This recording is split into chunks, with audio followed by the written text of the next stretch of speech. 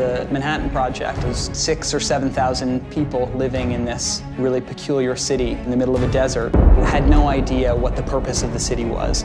The greatest long shot gamble in the history of science. The race to build the world's first atomic weapon. The most destructive weapon ever conceived by humankind.